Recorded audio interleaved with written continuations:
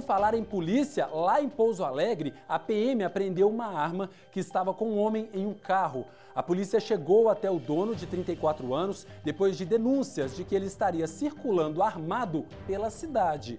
O suspeito não apresentou a documentação da arma, ele foi preso, a pistola e nove munições foram apreendidas. Segundo as informações da Polícia Militar, essa pessoa estava circulando lá e aí alguém viu, né, acionou a PM, falou, tem alguém armado aqui e agora então a polícia foi atrás, conseguiu localizar a arma e o homem acabou preso.